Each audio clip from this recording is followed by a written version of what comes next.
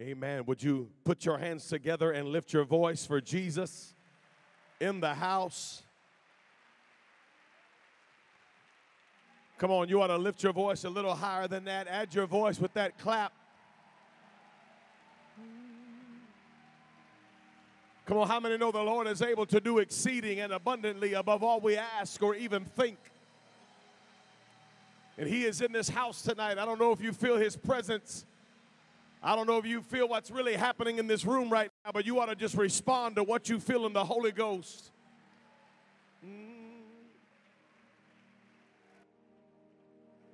You are more than able.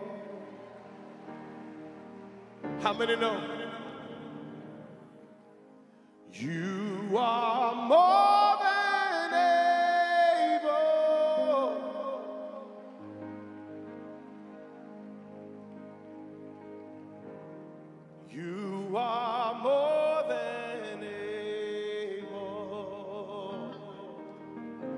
Do I have any testifiers in the building? You are more than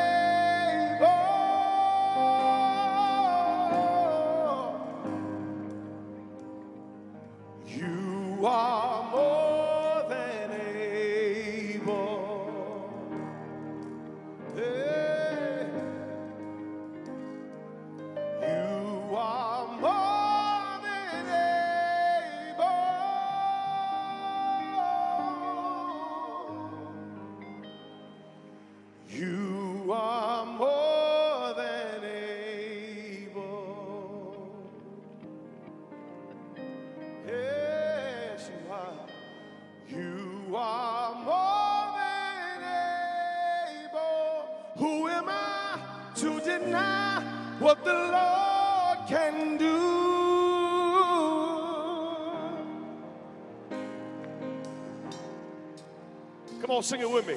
You are more than able. Would you lift your hands and would you just tell him, Lord, we know it tonight, say, You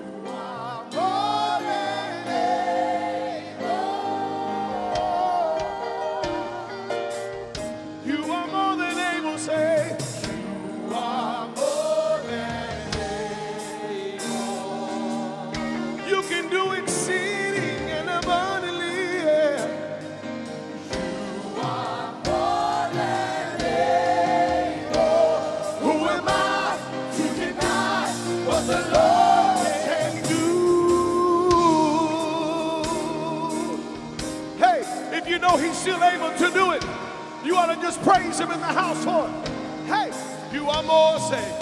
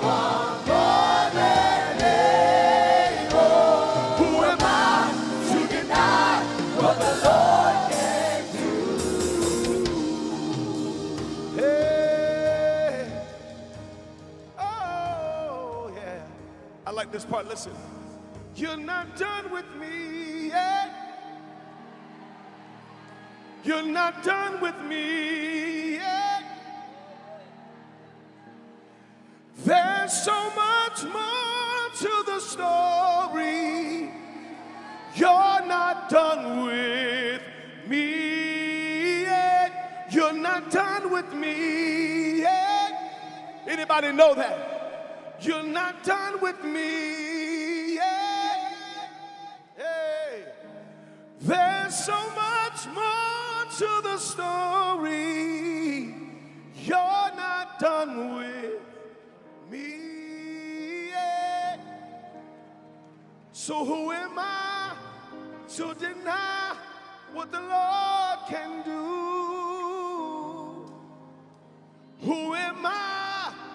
Deny what the Lord can do?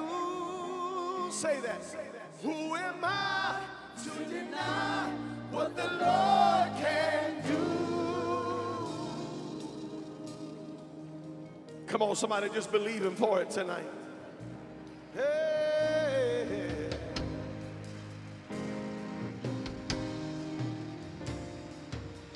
Hallelujah. Anybody know that he's still in the miracle working business? Anybody still know that he's a miracle working God? And who am I to deny it? Who am I to deny it? Who am I to deny it? Hey, who am I? Who am I to deny what the Lord can? Who am I? Who am I what the Lord can? Who am I? Who am I to deny what the Lord can? Who am I? Who am I to deny what the Lord can? Who am I? Who am I to deny what the Lord can do? Who am I to deny what the Lord can do? Come on, clap your hands to the Lord and just worship Him.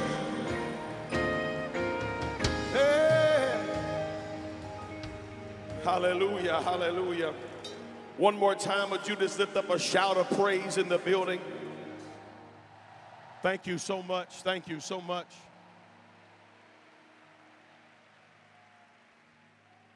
Let me just say what an honor it is for me to be in the Philippines.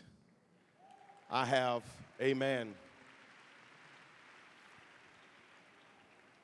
I have dreamed of being here, standing in this place, and I've desired to be here and to be with you all.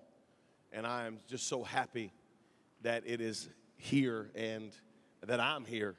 I'm honored to be here tonight. And I give honor to your leadership. And I give honor to Brother Buckland. I give honor to all the, the men that I've been teamed up with this week Brother McLaughlin, Brother Harvey, Brother Enzi. I'm so thankful to even be on the same team as these amazing and tremendous men of God. Um, I'll tell you what, I've never heard a district superintendent preach like that today. No, sir. You are blessed. Hear me, you're blessed.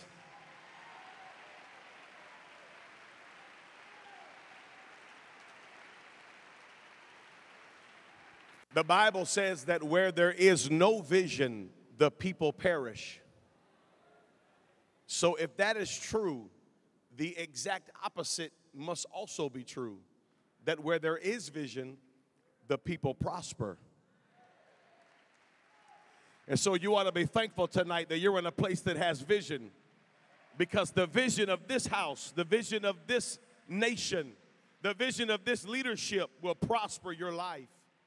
And I'm just honored to be here, honored to be in the house.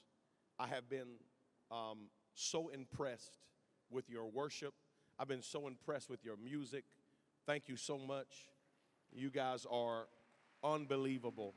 Your talent, your gifting, your ability. Amen. I travel all over the world, and let me just tell you, you guys got it going on. Amen.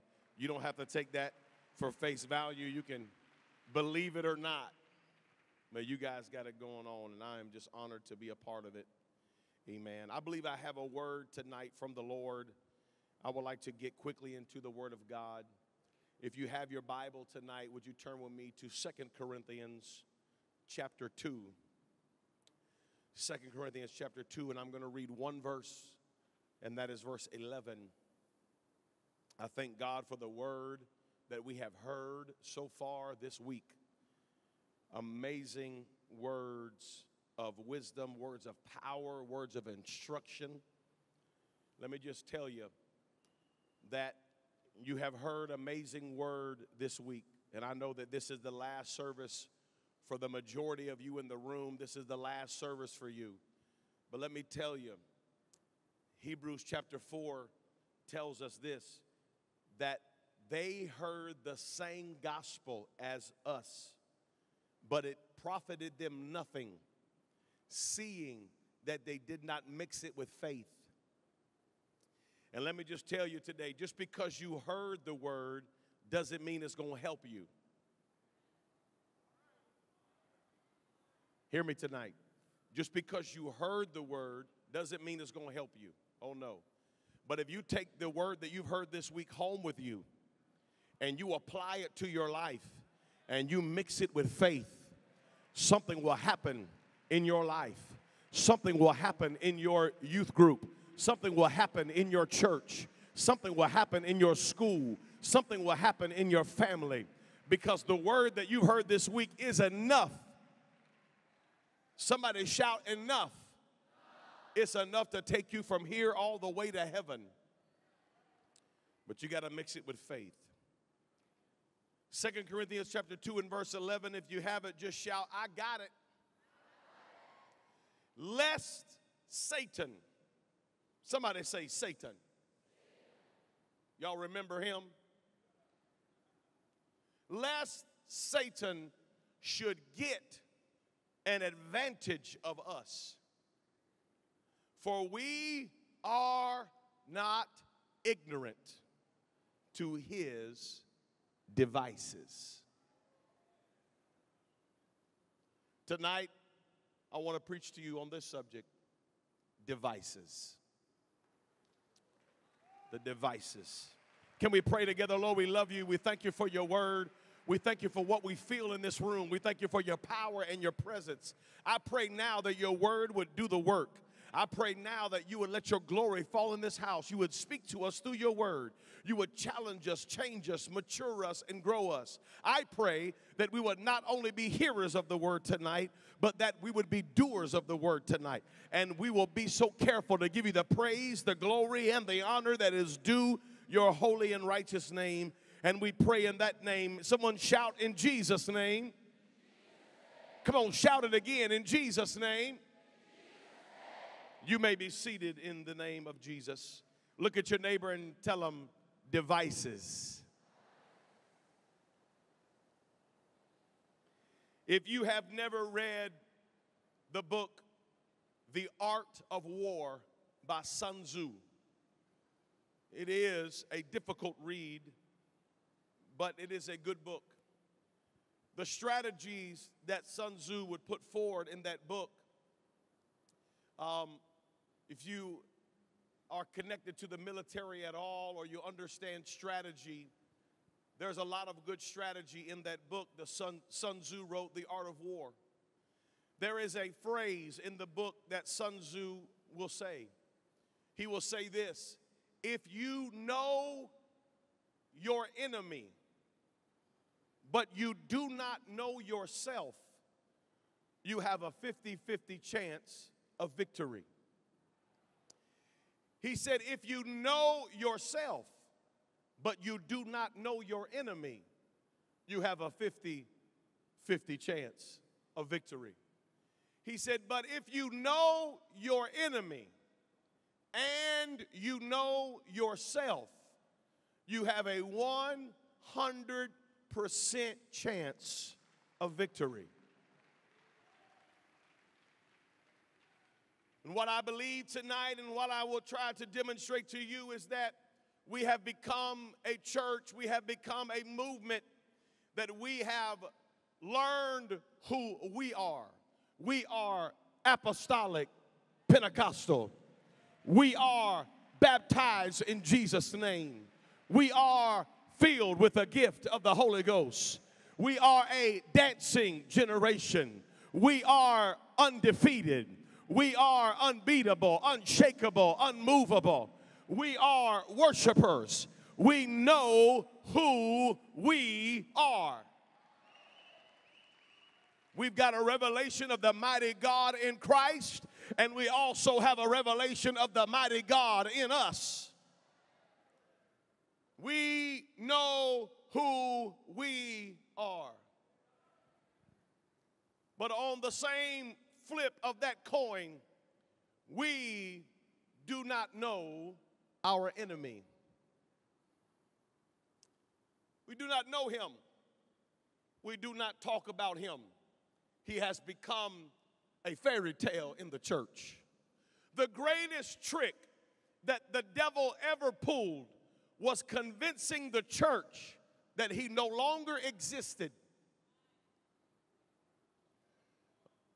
and that we have uh, more power in our little, little pinky than he ever thought about having.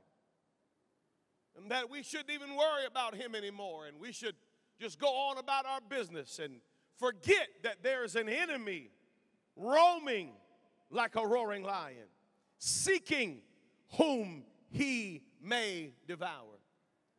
We have become ignorant to his devices, and we have lost the advantage. He has come like a thief in the night. His only desire is to kill, steal, and destroy. Paul would recognize this, and he said, Take on yourself the whole armor of God. Why? Why do we need the armor? Why is the armor there? Why would we put on the helmet of salvation, the breastplate of righteousness, feet shod with the preparation of the gospel, our loins girt about with truth? Why would we need an armor? Paul would tell us this is a part of Ephesians chapter 6 that we forgot about. He said, Put on the whole armor of God so you can withstand the wiles or the devices of the devil. We still have a devil to deal with. Man, I, I didn't expect you to run aisles right now. And that's fine because this is unpopular preaching. It makes people feel kind of weird when we talk about the devil and we say, well, we don't want to give him no glory. I'm not giving him any glory tonight, I'm exposing him tonight. I want to make you aware of his devices so that when you leave this place, he does not consume you and take away your gifting and take away your calling and take away your anointing and take away your ministry. I need to let a young man or a young lady in this room know the devil does not want to kill you. That's a lie. He does not want to kill you. He wants to ruin you. He wants to ruin your testimony. He wants to take away your confidence. He, want to, he wants to take away your worship so that you cannot be everything that God called you to be. He will let you be a mediocre Christian for the rest of your life. But if he can keep you from walking into the ministry that God called you into, he's won his battle. Man, I feel the Holy Ghost here. Yeah. I want to tell you that the devil has many devices, and I'm not going to talk about all of them tonight, but I want to tell you that all through the Word of God, the enemy tries to mess with God's people. In First Chronicles, he provoked David to number Israel. In the book of Job, Satan told God himself, I am just roaming the earth looking for trouble. In Zechariah 3, Satan resisted the man of God. In Mark chapter 4, the writer will tell us that sometimes when the word of God, like a seed, falls by the wayside, Satan comes quickly and steals the fresh word of God that has been laid upon people's hearts. In Luke 13, Satan had a lady bound for 18 years. In Luke 22, Satan would enter into a disciple named Judas, and they would crucify Jesus when he sold him for 30 pieces of silver in Acts chapter 5, Satan would enter the heart of Ananias, and Ananias would lie to the Holy Ghost and fall dead in the presence of Peter. Second Chronicles chapter 11 will tell us this. Don't, don't, don't be misunderstood here. The Bible tells us that Satan can disguise himself as an angel of light. Now, we forgot about these verses. We don't preach on these verses no more. We want to talk about Jesus and how good everything is and how awesome He is, and I believe in all that, and I'm down with all that. But you need to know when you leave this building, there's an enemy looking to take you out. There's a devil out there, and he wants to ruin your life and take away your anointing and take away your confidence in the presence of God. But I come today to remind him he's a liar, and the truth ain't in him. I came to remind you and I came to remind the devil he's a liar and he ain't ever told the truth. He's the father of lies. Yeah.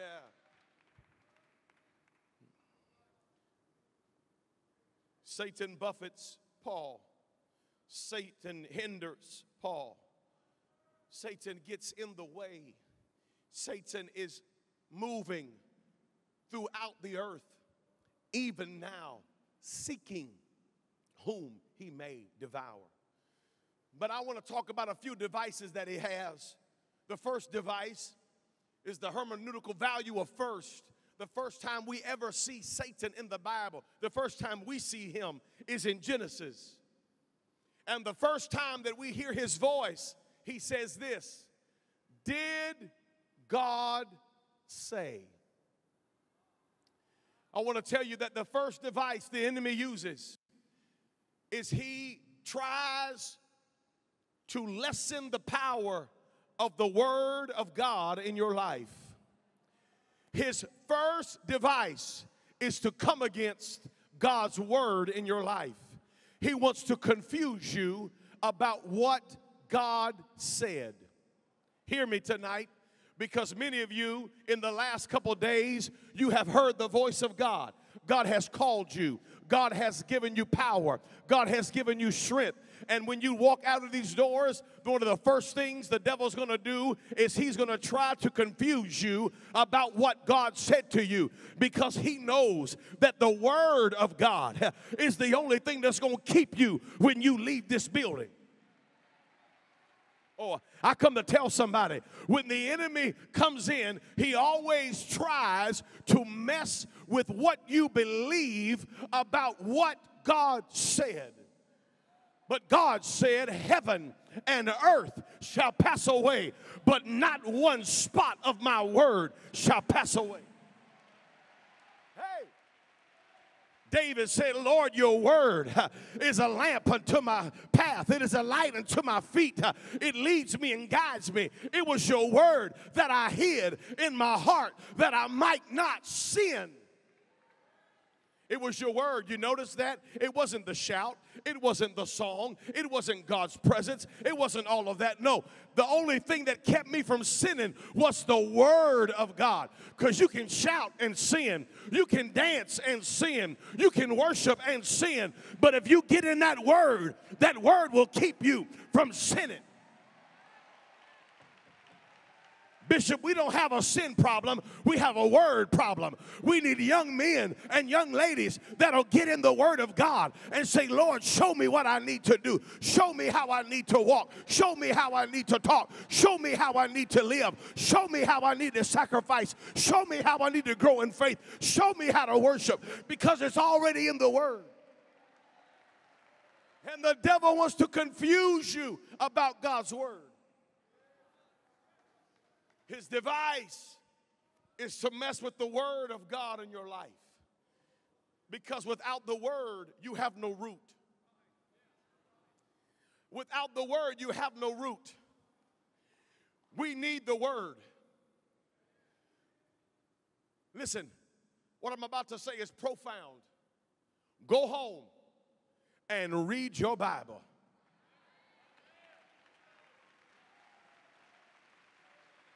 Read it from front to back, middle to front, middle to back.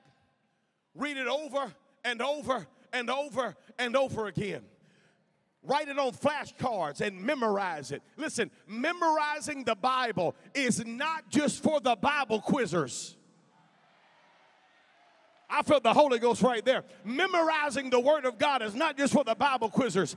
Every saint of God ought to be able to say, Greater is He that is in me than He that is in the world. Every saint of God ought to be able to say, Hear, O Israel, the Lord our God is one Lord. You need to know your Bible. You know why? I'll tell you why you need to know the word. Because there's devices. Devices.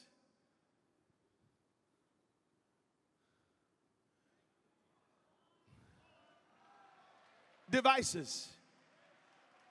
If you, hear me, if you are getting your biblical connection from Instagram, TikTok, and Facebook, you need to stop right now. If you're listening to online preachers but not listening to your pastor, you've made a mistake already. If you're listening to a TikTok preacher, you don't know where he's from. You don't know his credentials. He doesn't know you. He doesn't pray for you. He doesn't know your family. He doesn't know your calling. Why would you listen to that mess? Turn off the devices. If you like him so much, the next time you go to the hospital, call him and see if he'll come visit you. He ain't going to, but I know a man of God that'll show up at 3 a.m. in the morning. We need to get off our devices because the enemy uses devices.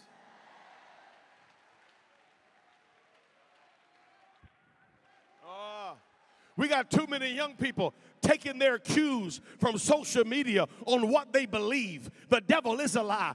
I go to the Word of God, and whatever God said about it, that's what I believe about it. Listen, hear me tonight. If you have never read the Bible, not only have you read it, but you understand the Bible, you have no business reading other religious books. Why? Why would you read a book about a book you ain't never read? The Bible is the standard. So that way, when you read somebody else's book and they're not writing the truth, you say, hey, the Bible didn't say that.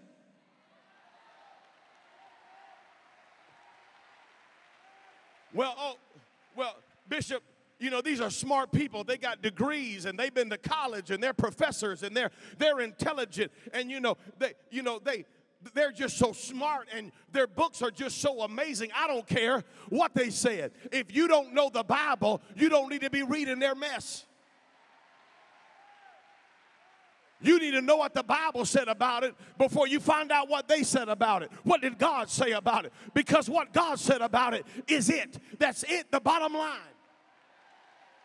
God has not changed his mind. God has not moved with the culture. He's the same yesterday, today, and forever. If God hated it back then, God hates it right now. If he loved it back then, he loves it right now.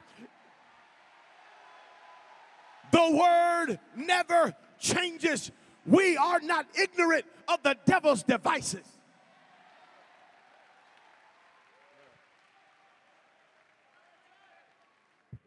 Be careful because the enemy wants to come against God's word.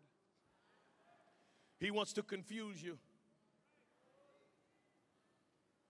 Had a young man, you can be seated, had a young man come to me. He said, Pastor, what do you feel about cessationism. Well, if you don't know what cessationism is, cessationism is making a rise.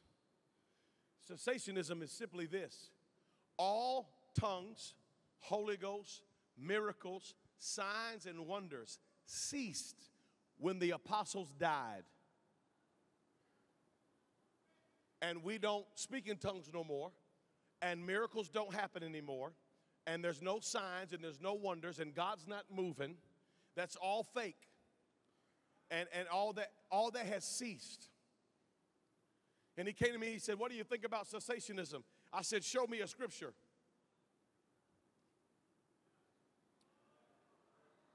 Show, show me a scripture. I said, I said, I don't I, listen, if you can prove it to me by the word of God, I'm, I'm fine with it. I, I got no problem. If you can show me, just give me one scripture. He said, Well, you know, in 1 Corinthians 13, it said tongues will cease. I said, No, it didn't. No, it didn't. Oh, yeah, yeah, yeah, yes, it does. No, it don't. I said, matter of fact, I said, what is the what is 1 Corinthians 13? What is that chapter? Tell me what the chapter is. He said, well, it's I, I said, no, no, no. I said, see, you read one little part of a verse. Do not give me a slice of the bread and tell me it's the loaf. Mm-mm, don't do that. Don't give me a crumb and tell me you gave me the whole loaf. No, no, no, no, no, no, no. I said, 1 Corinthians 13 is the love chapter. Love does not envy. Love does not no, no, strife. Love does not vaunt itself. It does not puff itself up. It's all about love. He said in the beginning of it, he said, though I speak with the tongues of men and angels and I don't have love, though I prophesy and don't have love, though I have a word of knowledge but I don't have love, I'm nothing but a sounding brass and a tickling cymbal. And at the end of First Corinthians 13, he says, now listen to me, prophecy will cease knowledge will cease, tongues will cease. Love is greater than these things. What he's saying is, is that when it comes to love, love is greater than prophecy, knowledge, and tongues. Who cares what you know? Who cares how you can prophesy? And who cares how much you can speak in tongues if you don't love one another? It doesn't matter. That's what Paul's saying. And I know that Paul wasn't saying that tongues cease because 1 Corinthians 14, the next chapter, Paul says, Now, hold up, I speak in tongues more than all of y'all. Paul wasn't saying that tongue ceased. You see, this is how easy it is for the devil to get you connected to his devices and you start losing your mind and thinking that this is not that. This is that. This is what the prophet Joel spoke about. We we haven't ceased. God is still doing miracles. God is still pouring out the Holy Ghost. We're still speaking in tongues. The dead are still raised. The blind can still see. The lame can leap. The dead shall live again. We are still having miracles, signs, wonders, and the Holy Ghost.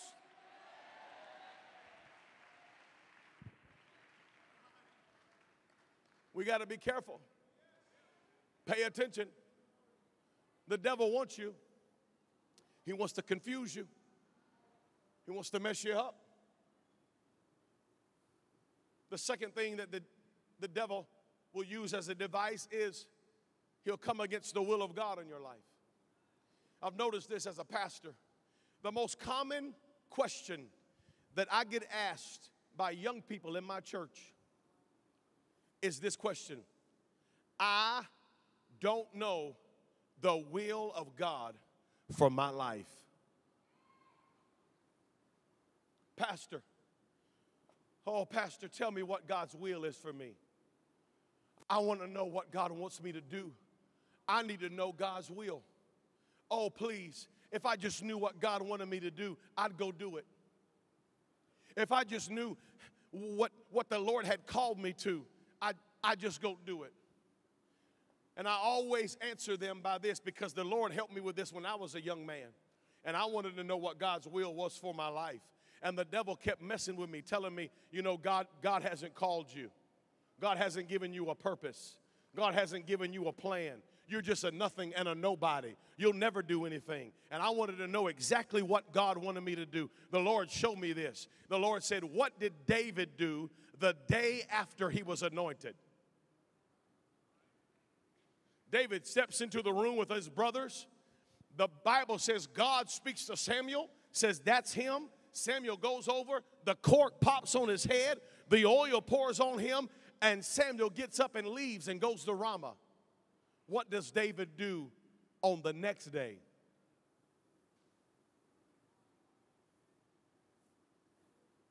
Now, the Bible's not very clear about this, but we do understand what David did the day after he was anointed. He did what he did the day before he was anointed. You know what he did? He went back out with the sheep and he did what the Father had already asked him to do. I'm helping somebody right now. If you hear what I'm preaching to you right now, I'm going to help you. Because we want to know, oh Lord, where do you want me to go? How do you want me to do it? What do you want me to do it? But you don't need anybody to prophesy to you tonight and tell you that you need to pray. You don't need anybody to prophesy to you and tell you you need to read your Bible. You need to fast. You need to study. You need to win a soul. You need to teach a Bible study. We all want to know what the end game is. But Lord, just show me what I need to do tomorrow. David did not get a crown on day two. He did not kill a giant on day two. On day two, David went back out and continued to do everything the Father had already asked him to do. And there's some young people in here, you are so frustrated. You are so mad because God has not spoken to you and told you everything that you're going to do. And so you have decided to be paralyzed. Paralyzed in your worship, paralyzed in your giving, paralyzed in your sacrifice. And because you don't know everything, you don't want to do nothing. I'm going to say that again because you don't know everything, you don't want to do nothing, but the devil is lying to you. You ought to say, Lord, I don't know what I got to do 10 years from now but I know tomorrow I got to wake up. I got to get in my word. I got to pray. I need to teach a Bible study.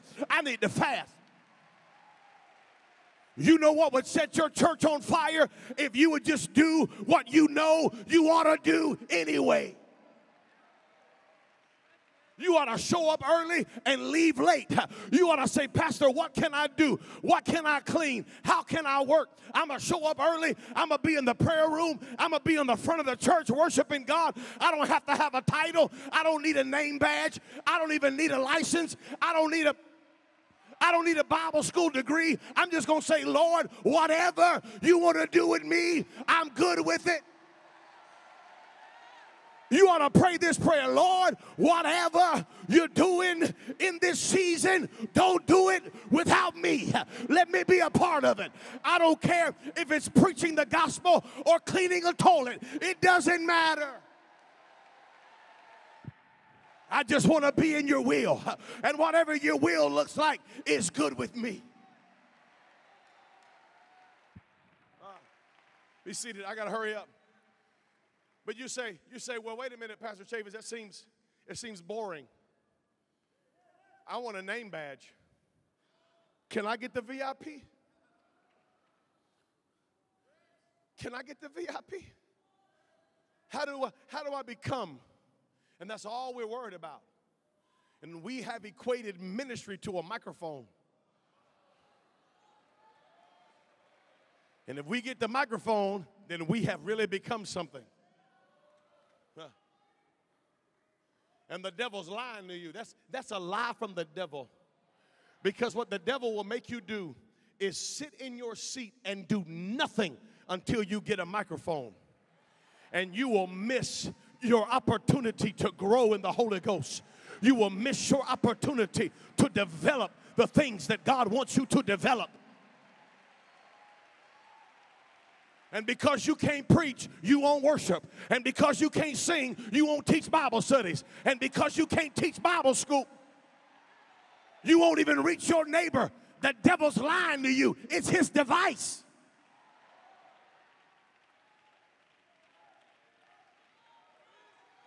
You say it's boring. Pastor Chavis just coming to church and just showing up and just, you know, serving on the usher board and parking cars. It's, it's boring. I want to do something. Well, let me tell you, for, for David, it wasn't boring. Watch this. David stands in Saul's tent and he says, I want to go fight the giant. Saul says, You can't. You're just a kid. He has been killing people since he was a kid. You can't fight him. He will destroy you, boy. David lets us in on a secret that we didn't know. If it had not been for this moment, we would never have known. But David says, reluctantly, King, I got to tell you something. Come close. Come even closer.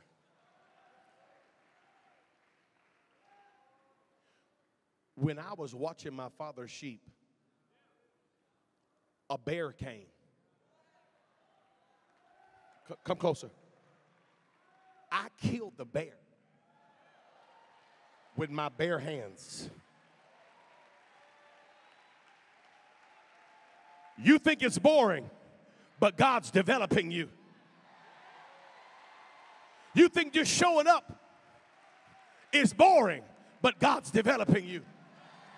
You think just praying when nobody sees it, God's just developing you.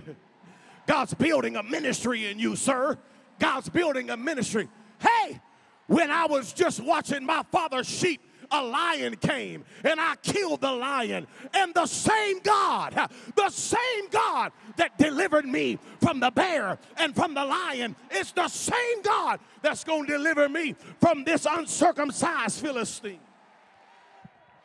Where did David get his confidence? He got it when nobody was watching, when the cameras weren't rolling and the Instagram weren't playing, when nobody could see him. He was just by himself fighting lions and bears. Oh my. So, there's a 15 year old boy in this room right now, and you've been fighting the devil since the day you were born. And one day, God's gonna give you the stage to preach your message. But right now, you ought to say, Lord, I want to be faithful, and don't let me grow weary in well doing. Don't you let the devil lie to you.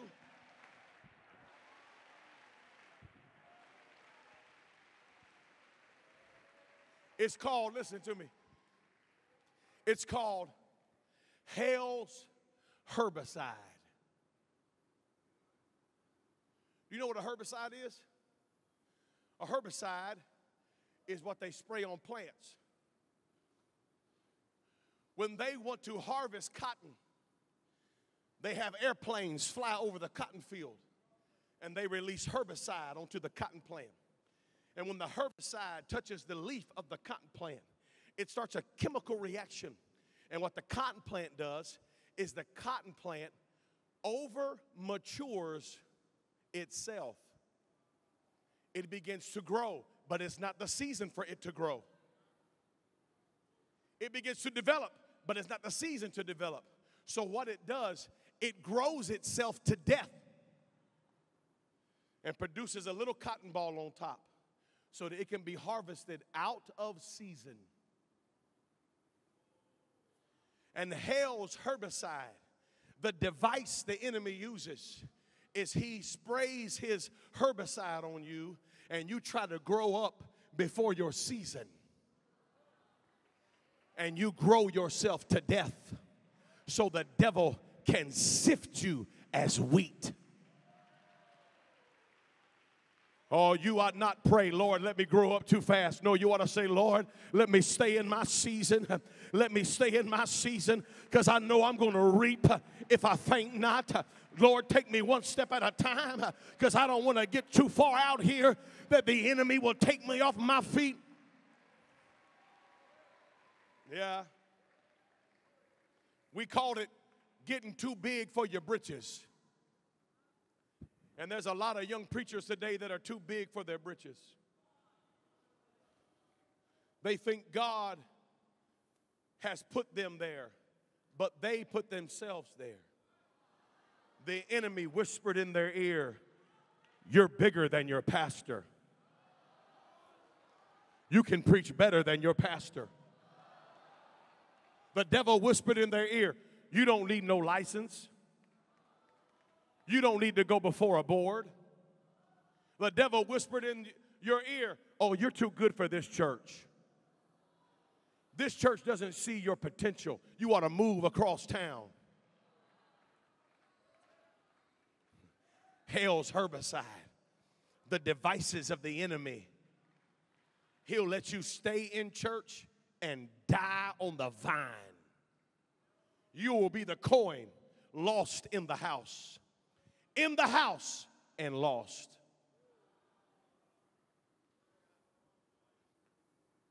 I got a few minutes to finish this out. I want to tell you the last device. He comes against the word, he comes against God's will for your life, and then he comes against your worship. The devil wants your worship. Hear me tonight. Pastor Chavis, how do you know this? I know this because Satan had a moment to cultivate a temptation with Jesus. His development of the temptation went like this Make these stones into bread. Use your ministry to feed yourself. Use your gifting for your own uplifting. Make this bread. Feed yourself with your ministry. Jesus said, It is written, Man shall not live by bread alone, but by every word. Word. Because he comes for the word. Then the devil says, Okay, I'm to take you to the temple, take you up on the temple, and uh, throw yourself down, die, have the angels resurrect you so you can prove to everybody that you really are the Son of God.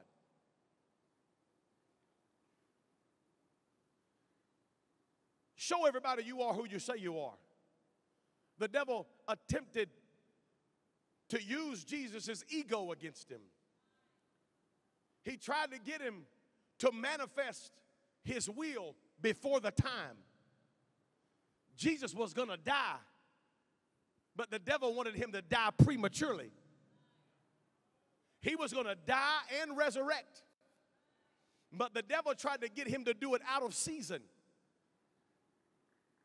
Oh, hear me. He come against the will of God. The devil knew that he was going to die raise again, but he wanted him to do it out of season. Do it now. He said, Thou shalt not tempt the Lord thy God. Don't tempt him. Then he brings him up to a high place and he shows him the kingdoms of the world. And he said, This is what you came for, right? You came for the world. Well, guess what? You're talking to the guy who owns the world. I own all this. This is all mine. You don't have to die. You don't have to bleed. You don't have to go to a cross. I will if I will give you all of this with no nails and no whip and no crown of thorns. I'll give you all of this. Everything you came for, I will give it to you if you worship me. Worship. It all comes back to worship. Jesus says this Thou shalt worship the Lord thy God, and him only shalt thou serve. Because Jesus understood this whatever you worship, you serve.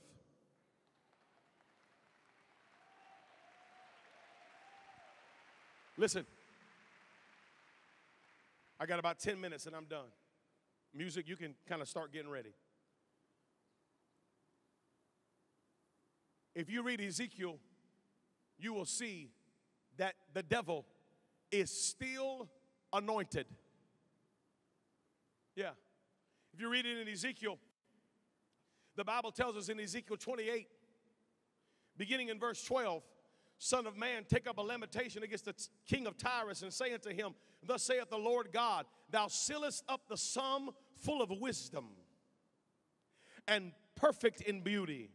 Thou hast been in Eden, the garden of God. Every precious stone was thy covering the sardius, topaz, the diamond, the beryl, the onyx, the jasper, the sapphire, the emerald, and the carbuncle, the gold, and the workmanship of thy tabrets and of thy pipes was prepared in thee in the day that thou wast created. Verse 14, thou art, you are. Before this, it was you were, you was, you used to be. But in verse 14, he says, You are the anointed cherub that covereth. Yeah. He's still anointed. That's why you got to be very careful what you let play in your ears. Okay, I got about 10 minutes. Y'all not to like this. It's all right. Just, just hang on. The greatest device of the enemy today is the power of his gift. The power of his gift is, was, and has always been music. Hear me for just a moment because I got to move quickly. Just listen to me for right now. Just listen to me. Music is the only element on the planet that was not made here. Music is an alien life form, it is not from the world. Music was created in heaven, it was created by God. Listen to me. Music was created for one singular purpose worship. Listen to me. I don't got much time. So you cannot separate music from worship. It has one heavenly, singular purpose worship. So if you listen to music about Jesus, you will worship Jesus. But if you listen to music about fornication, adultery, drug use, promiscuity, rebellion, witchcraft,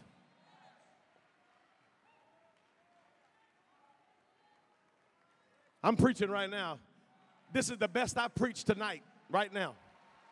Because the devil has put this generation in a trance with the music that they allow in their ears. We will listen to anything because we say, Well, I don't listen to the lyrics, Brother McLaughlin. It's just the beat. Impossible. Scientifically impossible. When music plays, Listen, you are left brain and right brain. Your left brain is analytical, solves problems, understands. If I say two plus two equals five, everybody in the room, that equation goes into your left brain. Left brain says, You're wrong, it's four, and spits it out.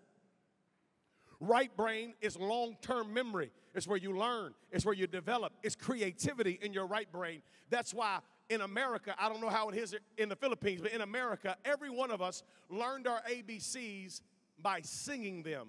A, B, C, D, E. You know why?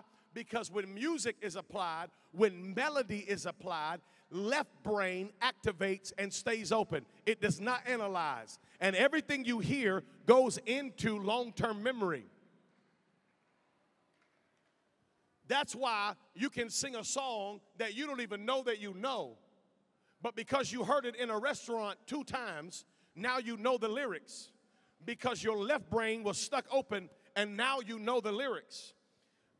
Education understands this. The world understands this.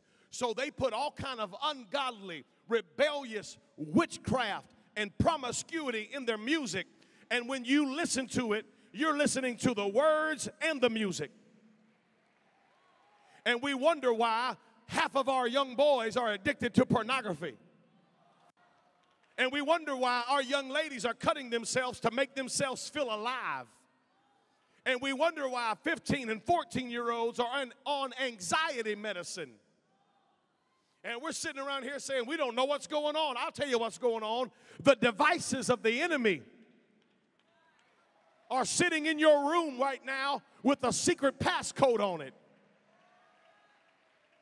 The devices of the enemy are in your back pocket, and you will put his earphones in your ear and listen to all that ungodly music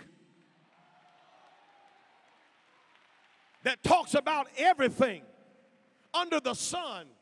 And then we come into this house and we struggle to worship and we struggle to lift our hands because you've been worshiping all week long. I told you you're not going to like it. You was just shouting a minute ago. But you're not going to like this one. This one's hard because we want to be able to listen to what we want to listen to. Oh, I like that. I like him. I like them. Oh, he's cute. They're cool. Oh, it's K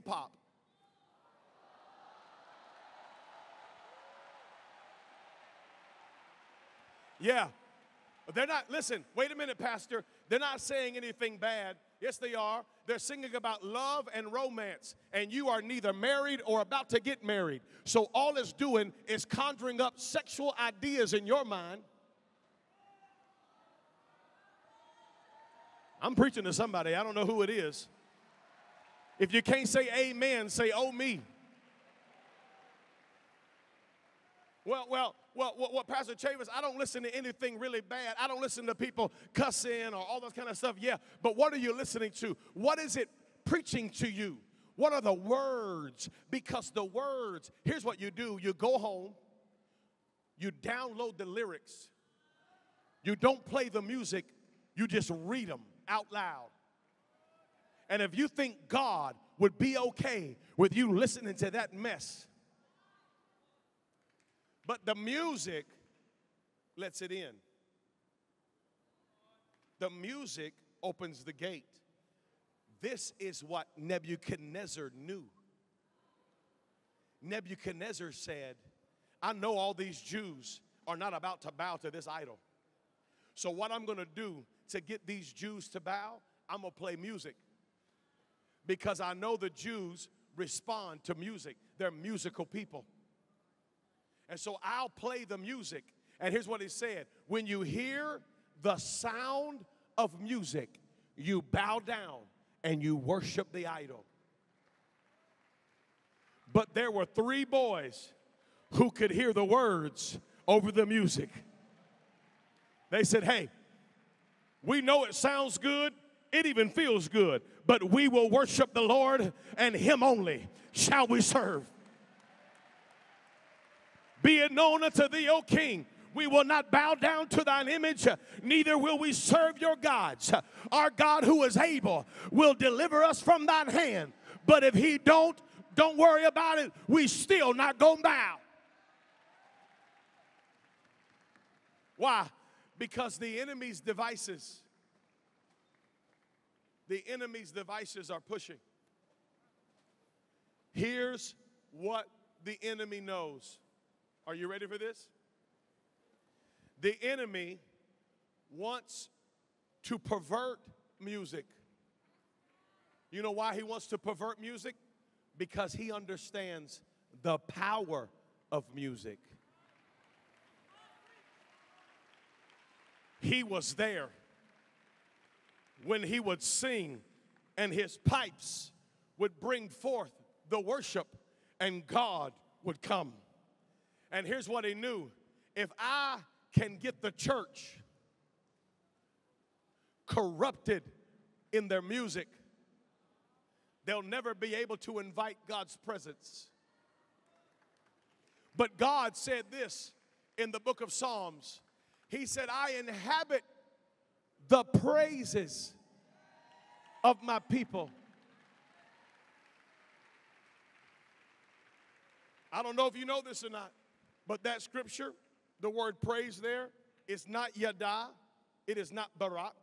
That word praise in that scripture is tehillah. Do you know what the word tehillah means? It literally means the congregation singing a hymn. So here's what the here's what the devil knows. If the congregation will ever sing together, God said, I'll come down in that. That's why he said, Where two or three are gathered in my name, I'll be in the midst of them. If we can worship together,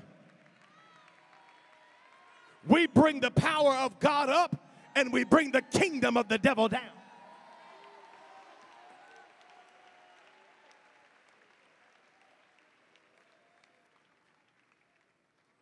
The greatest mistake that the enemy made with Paul and Silas is he didn't separate them.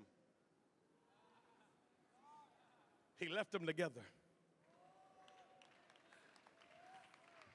You made a mistake, devil, because if two or three are gathered together, and what did they do? The Bible says at midnight they lifted their voice and they sang praises. And when they began to sing, God came down. Because all it takes is two or three. But I believe we got enough here tonight to tear down every device that the enemy's ever tried to build in your mind. Tear down every device that the enemy's tried to build in your heart. Tear down every device that the enemy's tried to build in your spirit. Lift your hands across this building right now and begin to lift your voice and begin to worship the Lord.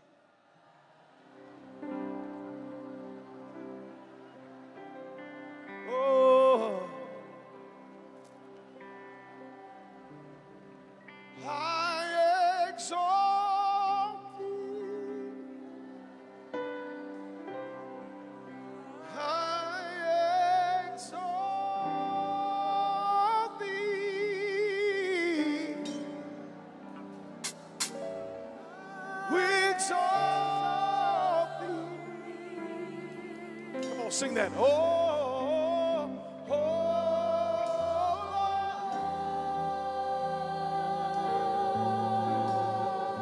Come on, sing that out.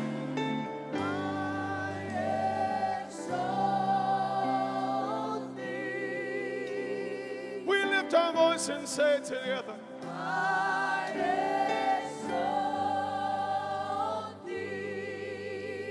Come on, every device has to fall at the feet of Jesus.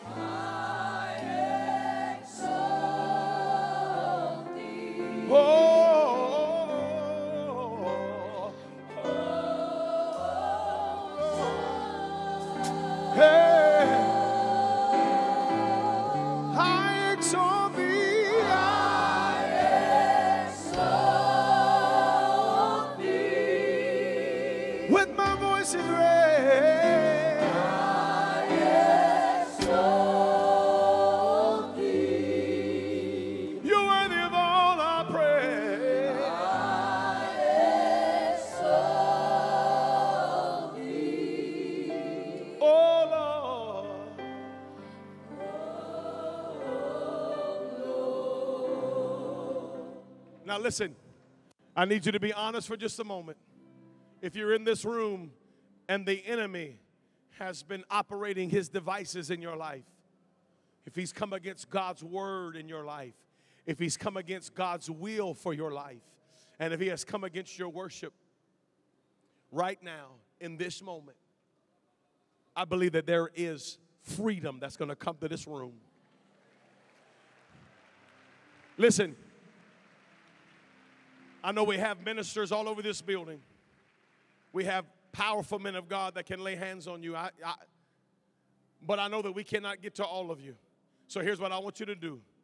If you've been struggling and the enemy has been using his devices on you, I want you to take your right hand and I want you to lay it on your head.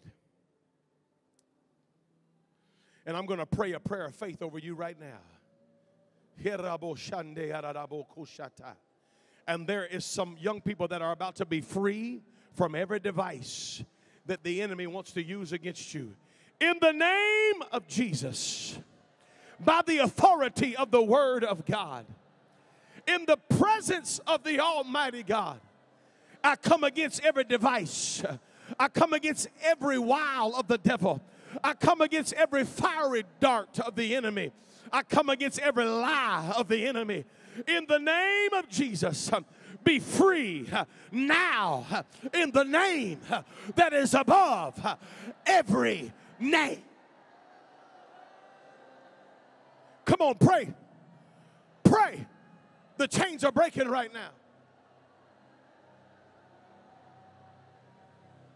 I feel the Holy Ghost here. Pray until you feel it break. Pray until you feel it break. Devil, you're a liar. Come on, tell him, devil, you're a liar. You will not take my ministry. You will not take my authority. You will not take my anointing. You will not break my calling. Hey. Satan, you're a liar. And the blood of Jesus is against you. The blood of Jesus is against you. Somebody begin to call on the name of Jesus. Come on, pray for yourself right now. Call on the name of Jesus. Call on the name of Jesus right now. Hey.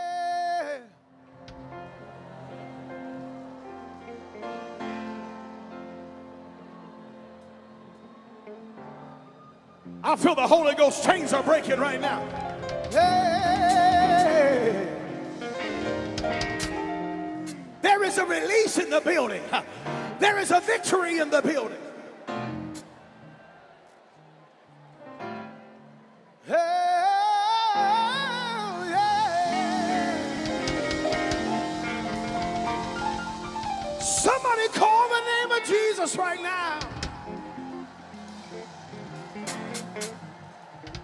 Now, I want you to lay hands on your neighbor and pray over them and say, In the name of Jesus, be free from every bondage, be free from every lie, be free.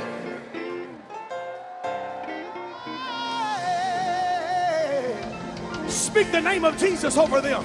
Speak the name of Jesus over your brother. Speak the name of Jesus over your sister. Speak the name. Speak the name. Speak the name. Satan,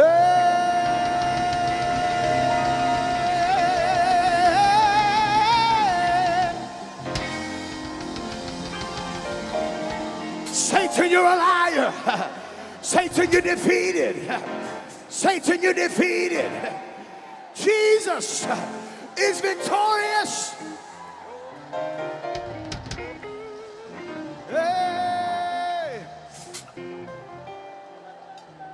Something happens when I call your name. Something happens when I call your name. Something happens when I call your name. Something